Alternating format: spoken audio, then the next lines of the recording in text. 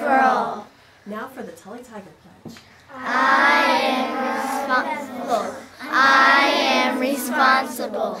I am mindful.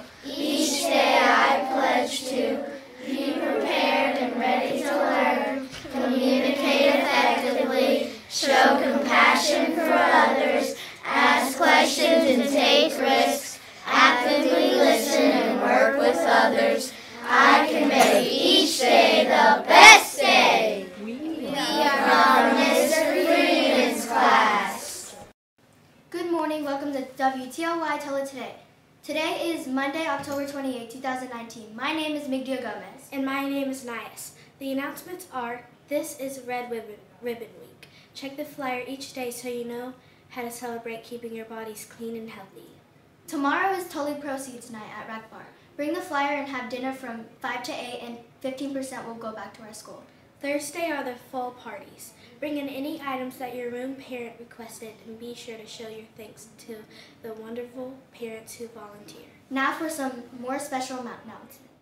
Good morning, boys and girls. Uh, everybody looks great in their red today. I'm so glad everybody's wearing red to uh, commemorate and start off uh, Red Ribbon Week. Remember, wear that ribbon proudly as well. And uh, the whole purpose, again, of Red Ribbon Week is to basically say no to drugs and substances that can harm our body. So Tuesday, tomorrow, you're going to wear uh, silly socks because we're going to sock it to drugs because remember, drugs do affect how we uh, how we grow and think, and we're going to sock it and not not really ever uh, partake in that. And then Wednesday is wear your favorite sports or athletic team shirt, pants, whatever it may be, socks. Uh, and the whole purpose of that is, is because if you have a healthy lifestyle and you do other things that keep you interested, then you'll stay away from those substances that can harm your body. And then on Thursday, it is fall party day, so wear your Tully gear, and that just shows that we're working together to be substance free here at Tully, and we're going to uh, uh, make sure that we're staying that way for years to come. So again, thanks for participating in Red Ribbon Week, and remember to uh, part participate in each of those events for the rest of the week.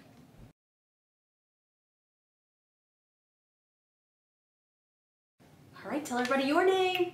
My name is David Turner. David is here. And David, when is your birthday? July 8th. July 8th.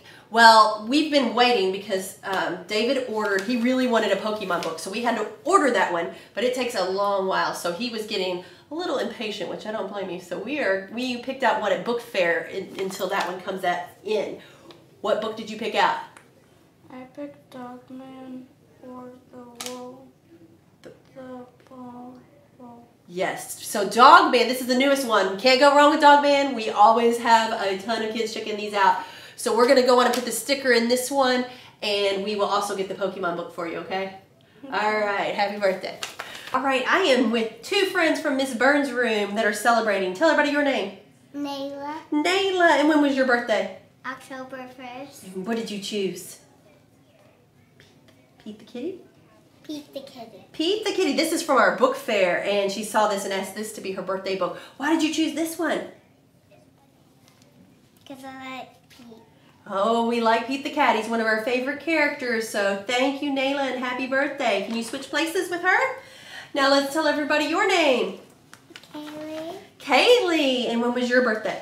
Um, on July 14th. Her birthday was over the summer, and we're just getting this together. We're celebrating now. It's almost halfway there to your next one. You picked an interesting book. Do you remember the title? No. It's 50 Ways to Feel Happy. Why did you choose this one? Um, because I love birthdays and and and and it has a lot of balloons and I love balloons. Oh, your birthday certainly makes you feel happy, and we always want to be happy. So this sometimes if we're having a bad day, we might need to get this book and see what we can do to to put a smile like hers on our face. So thank you to both these girls.